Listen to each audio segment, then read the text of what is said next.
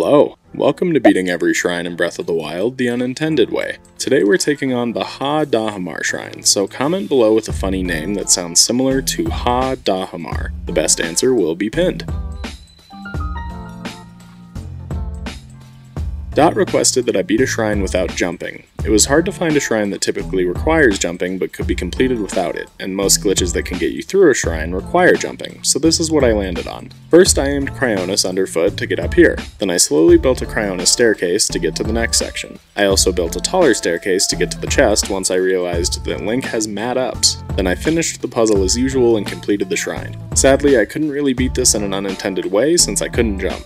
Sorry, bro. There are still a ton of shrines I have yet to complete, so comment below with the name of the shrine you want to see me beat in an unintended way. Here is a quick list of all the shrines I have yet to finish, so choose one of these. And put shrine request in front of it so I know it's not a funny name suggestion. Oh, and